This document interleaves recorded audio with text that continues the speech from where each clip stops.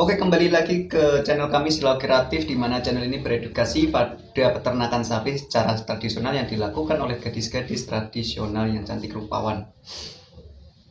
Kali ini kami akan memandu kalian semua untuk melihat proses perkembang biakan sapi secara tradisional yang dilakukan oleh kakak-kakak cantik dan rupawan. Oke, bagi kalian yang belum subscribe channel ini, tolong subscribe dan dukung terus channel kami agar selalu berkaya setiap saat. Mari kita simak video berikut ini. Oke, kesempatan kali ini di kandang milik Pak Tomo. Kita buka dulu pagernya. Kakos Kakos kecemplung kok. Ya, itu ada anak kecil mau kecemplung. Oke, Brahman kali ini betinanya jenisnya. Tung tantung. Tung tung tung. Jenisnya semental.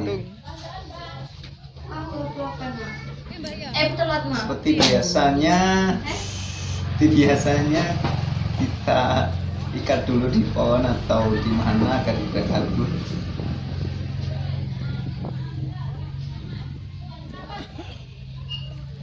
Dan mengikatnya pakai simpul biasa aja jangan kita lupati agar bisa dilepas saat, saat sapinya terjatuh.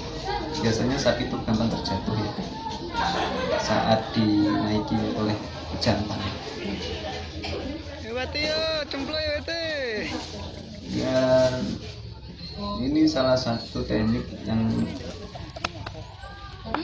disarankan oleh ternak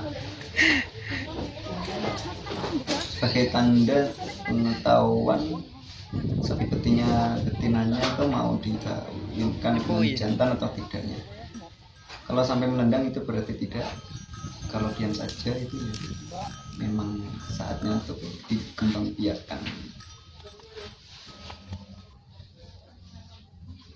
oke kita sampai sini dulu.